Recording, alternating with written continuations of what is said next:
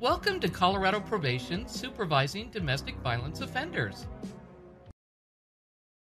In this video, we'll discuss the procedures and limitations placed on individuals who've been sentenced to probation for domestic violence related offenses. We'll also review your rights as a victim under the Colorado Victim Rights Act. We'll begin with two basic rights under the Colorado Victim Rights Act the right to notification and the right to be heard. Specifically, when you opt in to the Victims Notification Program, you will be contacted whenever a critical stage in the criminal justice process occurs. For example, while the defendant is on probation, you would be notified if and when the defendant requests a reduction in the amount of time he or she will serve on probation, has a summons or warrant issued for his or her arrest, or transfers supervision to a different state or district. Your rights are not limited to notification, however. Whenever an offender goes to court, you also have the right to be heard. As a victim, you can make a statement to the court whenever a hearing is held regarding any of the status changes previously mentioned. You can make a statement in person or in writing. In fact, from this point forward, the amount of involvement you have with the probation process is entirely up to you. Victim Services recognizes that individuals work through their issues in different ways and at different rates. Please know that we are here to assist you through the process to the best of our ability. Thank you in advance for watching this video. If, at the completion of this presentation, you still have questions about the probation process or your rights, please don't hesitate to call your local probation office and ask for the Victim Services Officer. You can also call the Office for Victim Programs at the Division of Criminal Justice at 303 239 5719 or call toll free at 1 888 282 1080. Victim Services. As the victim of a crime that falls under the Colorado Victim Rights Act, or VRA, there are a number of services available to you. Some services are provided by the state, while others are offered by private organizations. In this section, we'll discuss the steps you can take to access these services, including victim opt in notification, victim compensation, referrals to counseling, support groups, and other community agencies. At this time, you may already be familiar with your opt in rights under the VRA. To be notified of critical status stages while the defendant is on probation, all you have to do is fill out this request form, identifying the case and your contact information. If you don't have a copy of this form, please contact your local probation department and one will be sent to you. Another possible option is the Victims Compensation Fund, which may be available to assist you with expenses incurred because of the crime. Compensation that is available for victims may include, but is not limited to, doctor, dentist, or hospital bills, physical therapy, and mental health counseling. If your home was broken into as part of the crime, victim compensation might be available to assist you with the replacement of doors, locks, or windows. If you have suffered any of these expenses, please contact your victim services officer as soon as possible.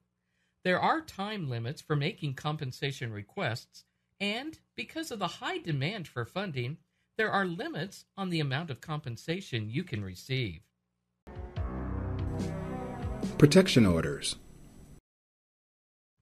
in Colorado, there are four types of protection orders civil, criminal, emergency, and domestic relations.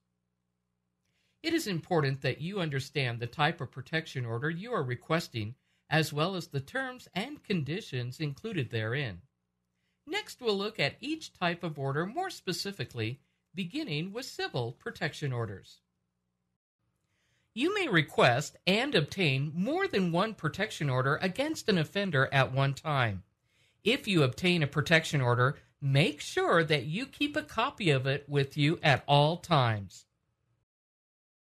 Victims of domestic abuse often request civil protection orders, which can be issued by county or municipal courts. Civil protection orders may include requirements that exclude an offender from a residence or other locations, restrain an individual from having contact with or abusing a victim, identified family members, and even pets. Require respondents to provide temporary financial assistance to petitioners for expenses such as mortgages, rents, utilities, and medical and child care.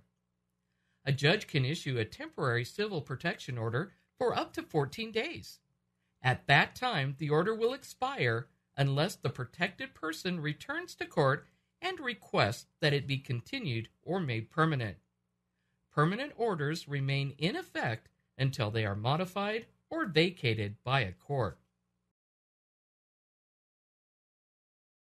Courts are required to issue criminal protection orders in cases in which a defendant is charged with a crime involving domestic violence. Before a defendant can be released from custody in a domestic violence case, he or she must acknowledge the criminal protection order in court and on the record. This prevents a defendant from claiming that he or she was confused as to whether he or she could contact the victim. Criminal protection orders remain in effect until the case is dismissed or the defendant completes the sentence, including discharge from probation or incarceration. In criminal settings, Courts are allowed to place a number of conditions and prohibitions on a defendant, such as refrain from harassing, injuring, molesting, intimidating, threatening, retaliating against, or tampering with a victim or witness. Order the defendant to vacate the home of the victim and stay away from any other location the victim is likely to be found. Refrain from contacting or directly or indirectly communicating with the victim. In addition, defendants can be prohibited from possessing or controlling a firearm or other weapon, or, in appropriate circumstances, from possessing or consuming alcoholic beverages or controlled substances. Emergency protection orders are issued outside of regular court hours at the request of law enforcement. These orders expire at the end of the next judicial business day unless continued by the court. Domestic relations protection orders are issued as part of a domestic relations case, such as a dissolution of marriage, divorce, or allocation of parental responsibilities, custody. It is important to inform the court of other protection orders that may be in existence. What happens if a court issues a protection order and one person is excluded from a common residence? In that case, a civil standby allows the excluded person to return to the residence one time to obtain sufficient undisputed personal effects that are necessary to maintain a normal standard of living.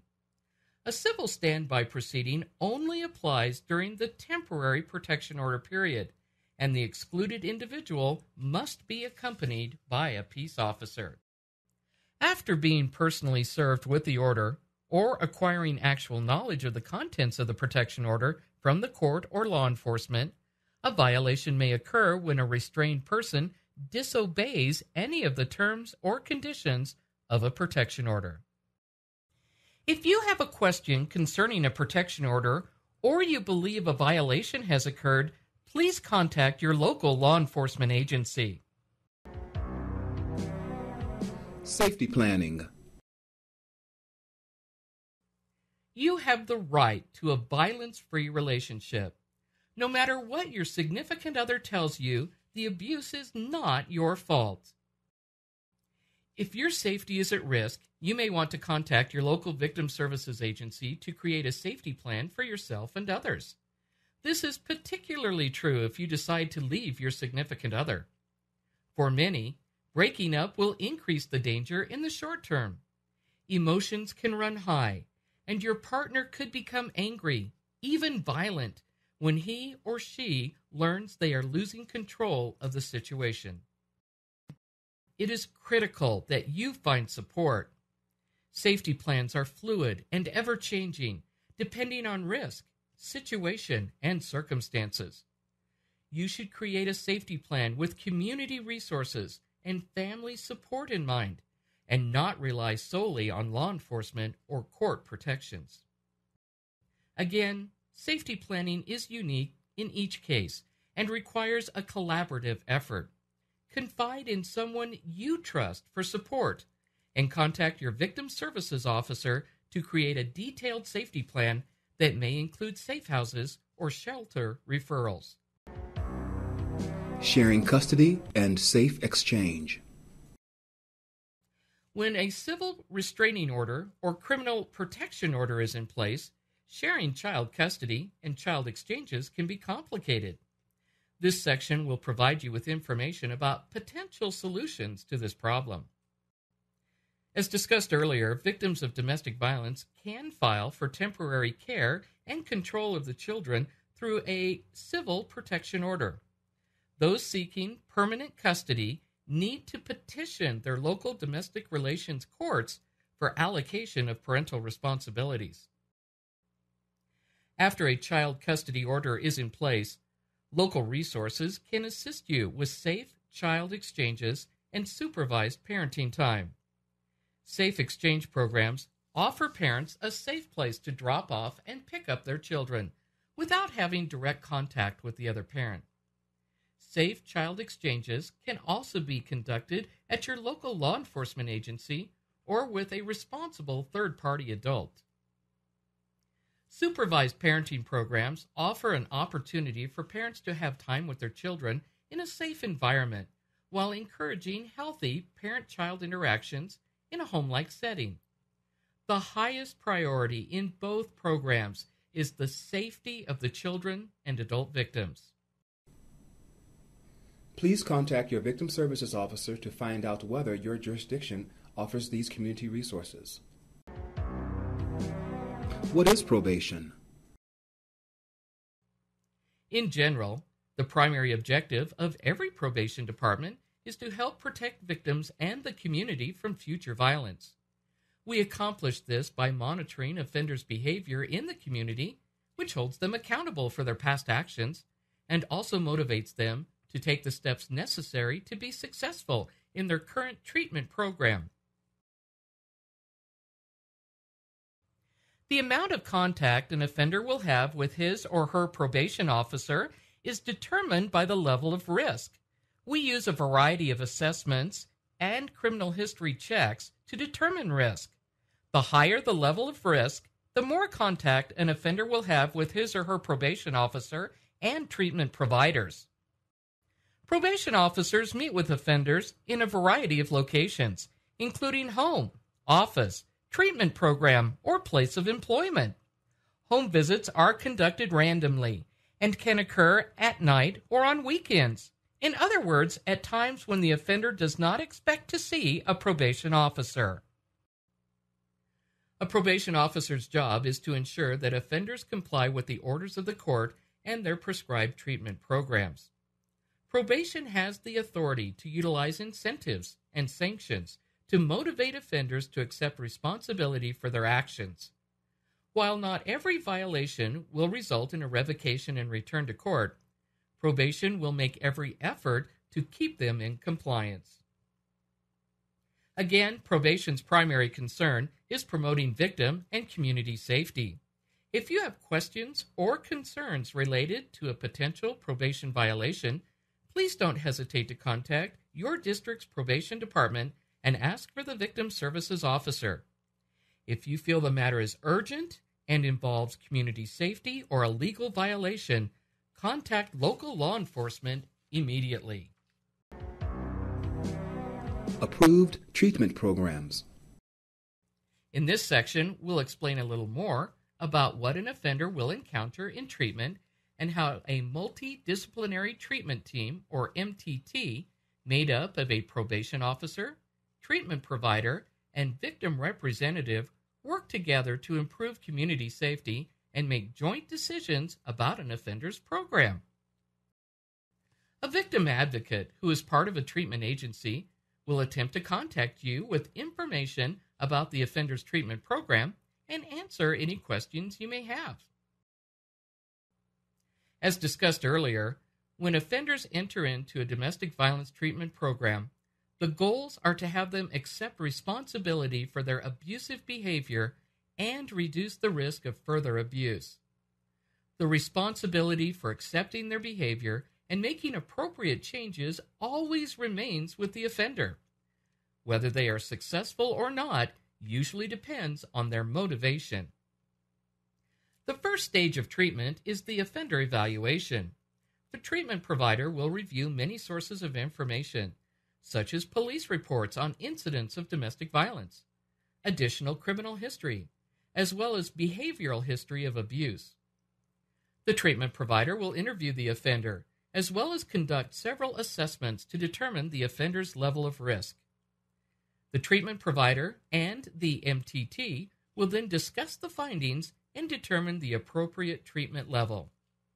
There are three levels of treatment Level A, low intensity, Level B, moderate intensity, and Level C, high intensity.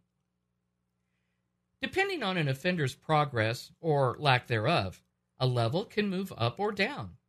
In other words, an offender might begin in a level C high intensity program, then have it reduced after demonstrating and meeting the core competencies listed in his or her treatment program. Offenders are required to actively participate in their treatment program. Participation means offenders can understand, demonstrate, and apply what they are learning. This occurs in various ways, such as through homework assignments, journaling, role playing, and active group participation. In addition, depending on individual needs, an offender may be required to attend additional programs, such as substance abuse or alcohol treatment. In most cases, the multidisciplinary treatment team will meet every two to three months to review new information it has obtained about an offender's treatment progress. The team will revise the plan as necessary, provide the offender with a progress assessment, and consider changes to the level of treatment. Probation will provide input regarding compliance and any new criminal activity. The MTT will also consider information obtained from other sources, such as family, social services, or mental health providers. There are three types of discharge treatment completion, unsuccessful discharge from treatment, and administrative discharge. An MTT will only assign treatment completion after an offender can demonstrate understanding and use of the core competencies, have no new risk factors, and complete all elements of the treatment plan. Power and control. Domestic violence is almost always about a perpetrator's desire to maintain power and control over the victim and his or her life. The graphic on the screen depicts actions frequently taken by domestic violence offenders to achieve their goals. At the center of the wheel, or the hub, is power and control, while the eight spokes of the wheel represent specific behaviors or tactics frequently used by offenders. We'll review each of these actions next. References in the wheel tend to identify females as the victims in relationships. While statistics indicate that most domestic violence victims are female, there are also female offenders and male victims and domestic violence in same sex relationships. The first book we'll review is when an offender uses intimidation to exercise power and control over the victim. This includes behaviors such as scaring the victim with looks, actions, or gestures. It might also include destroying property or abusing a pet that belongs to the victim. Other physical actions, such as punching the wall next to the victim's head or cleaning a firearm at the kitchen table, can also be used to intimidate or scare a victim. Moving clockwise, the next spoke describes how offenders can use isolation to control a relationship. This can include physical isolation, such as moving the victim a long distance from family and friends, or prohibiting the victim from using a telephone or leaving the house without permission. which limits a victim's ability to contact individuals who might provide support for his or her independence. The next spoke on the power and control wheel discusses behaviors of offenders who use emotional abuse. Examples include making derogatory comments about a spouse's abilities or appearance. Perpetrators can also play mind games with a victim to make them feel guilty about their own behavior. Next, we'll look at economic abuse. This could include an offender who refuses to allow a spouse to have a job or participate in financial decisions. Even if the victim is allowed to work, the offender may control the victim's paycheck as well as control the family's checkbook. The next spoke is sexual abuse, which includes making the victim do sexual acts she does not want to, physically attacking sexual parts of the body, or treating the victim as a sex object. The next spoke describes a situation in which an offender uses children to exercise power and control. For an example, an offender might have children relay hurtful messages to the victim. Or an offender might threaten the victim that he or she will never see the children again if he or she reports the abuse to authorities. Using male privilege involves male offenders who hold strong beliefs on the roles of men and women in a relationship. In this situation, male offenders will attempt to control the victim by making the victim feel like a servant or not allowing the victim a voice in major decisions. The last spoke we'll review on the power and control wheel is threats. These include direct threats toward the victim's personal safety or toward individuals who are important to the victim. They can also take the form of indirect threats and coercion including statements by offenders that they will report the victim to authorities, such as law enforcement or social services. It might even include threats that the perpetrator will commit suicide. That completes our review of the power and control wheel. As you may have noticed, some abusive behaviors can fall in more than one category. However, the importance of the power and control wheel is not necessarily helping a reader identify a specific category for every abusive behavior. Rather, the power of the wheel is helping victims recognize behaviors that may be occurring in their own lives so they can take positive steps to break the cycle of violence. If you would like to learn more about the use of power and control in a relationship, please contact your local victim services officer or a domestic violence victim advocate in your community. Cycle of abuse. We just reviewed how an offender can use power and control within an unhealthy relationship. Next, we'll look at how the behavior often turns to a cycle of abuse. At the right side of the screen, we see a phase in a relationship that is titled calm. At this point, it is relatively serene no abuse is occurring, and the offender may act as if no abuse has ever occurred.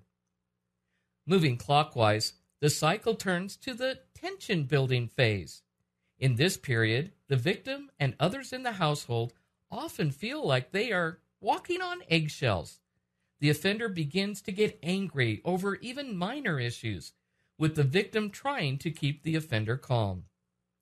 Unfortunately, Despite the best efforts of the victim, the cycle of abuse often moves into the explosive phase. At this time, significant abuse occurs in the form of physical abuse, sexual abuse, emotional abuse, or all of the above. Finally, the cycle moves into what is described as the honeymoon or reconciliation phase. At this time, the offender will usually apologize, sometimes profusely, for the abuse, promising the victim that it will never happen again. The offender may still blame the victim for the abuse or deny that it happened, but he or she will frequently buy gifts or do special things for the victim. Unfortunately, the cycle often returns, moving from the reconciliation phase to the calm phase and then back to the tension building and abuse phases. Of course, the timing and severity of the abuse varies with each relationship. For some, it may occur once or twice a year. In other relationships, the cycle might occur monthly, weekly, or even more frequently. Unfortunately, research shows that the level of violence within a cycle generally increases with each occurrence, placing the victim and others in greater danger of injury or death with each cycle. On average, it takes domestic violence victims seven cycles of violence before they report the behavior to law enforcement. In some occasions, victims have endured the cycle of abuse dozens of times before escaping the relationship. This video was developed to help empower victims of domestic abuse by providing information about your rights as a crime victim, as well as describe how offender programs are managed in Colorado. Remember, you can always change your mind. If you decide not to be involved with probation at this point, you may contact us later to receive more information or become more involved. Probation takes supervision of domestic violence offenders very seriously. We want them to succeed in the treatment process. At the same time, we want to assist crime victims as much as possible. If you have questions or concerns, please feel free to contact your local probation department at any time. Resources